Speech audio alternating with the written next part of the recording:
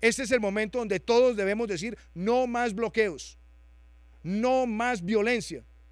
y que podamos en este momento abrir un camino para que nuestro país transite hacia la normalidad y a la tranquilidad que nos merecemos todos los colombianos. Tengo un gran equipo de gobierno en este momento desplegado en la ciudad de Cali. Yo he tomado la decisión,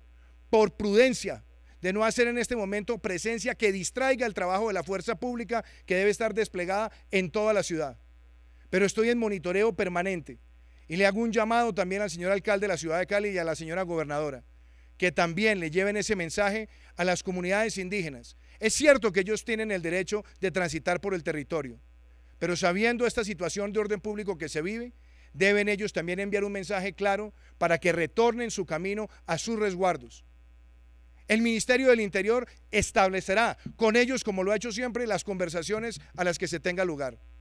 Pero en este momento no podemos dejar que las provocaciones aticen la violencia y generen en este momento una situación que puede ser inmanejable localmente cuando entra en confrontación la ciudadanía con quienes están llegando de otros lugares y frente a quienes ellos sienten, por una razón u otra, algún tipo de amenaza.